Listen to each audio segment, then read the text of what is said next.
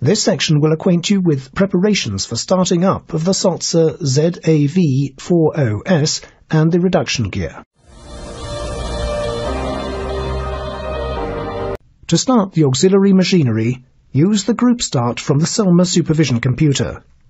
Group starts for the main engines are divided into two groups, main engines 1 and 4 and main engines 2 and 3. The auxiliary machinery can also be started manually. The following pumps start for each group start. Main engine lubricating oil pump.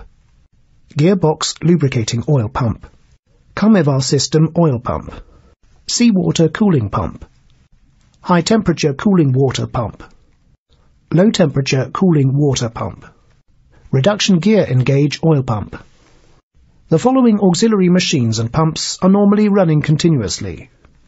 Fuel oil feed pump fuel oil booster pump, nozzle cooling water pump, starting air compressor by Pressurstat control.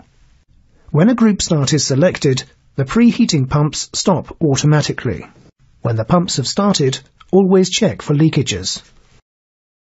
This part of the section will familiarise you with the normal startup of the Sulzer ZAV40S and the reduction gear.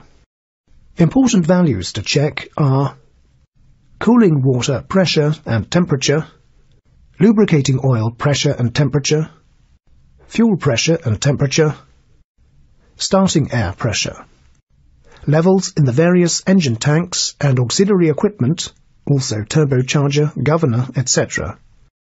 The engine should not be started following a long period of being out of service until the following basic checks have been carried out. Check that the fuel control linkages move freely. Turn the hand crank on the cylinder lubricators about 30 times to charge the delivery pipes. Watch each flow indicator and check that excessive force is not needed to turn the crank. Engage the slow turning gear. Open the indicator cocks in the cylinder heads and rotate the engine several times with starting air or the slow turning gear to make sure that the running gear is working satisfactorily and that no water, oil or fuel has collected in cylinders. Close the indicator cocks. Disengage the slow turning gear and lock the operating lever. You can review and enlarge the images by clicking them. The engine should not be started until the following basic checks have been carried out. Press the emergency stop button.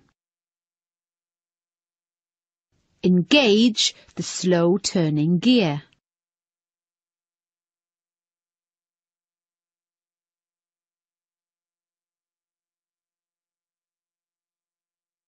Open the indicator cocks in the cylinder heads and rotate the engine several times with starting air or the slow turning gear to make sure that the running gear is working satisfactorily and that no water, oil or fuel has collected in the cylinders.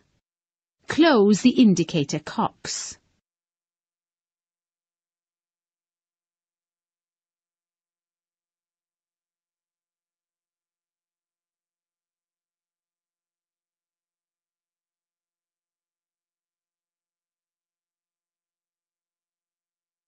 Disengage the slow turning gear and lock the operating lever.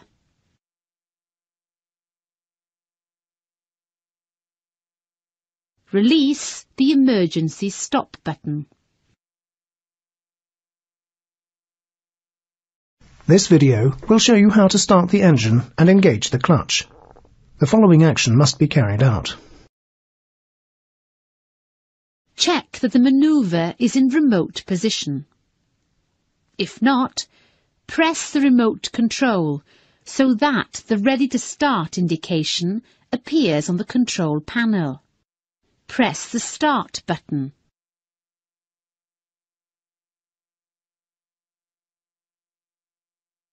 Disconnect the blockings and alarms for the engine while the engine is running.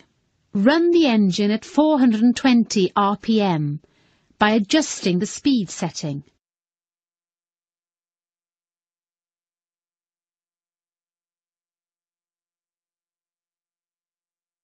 Engage the engine and clutch by pressing the clutch closed button and make sure that the clutch oil pressure increases to 22 bars. Reduce speed setting to prevent overspeed when the clutch is disengaged. Check that everything is okay and hand over control of the maneuver to the bridge.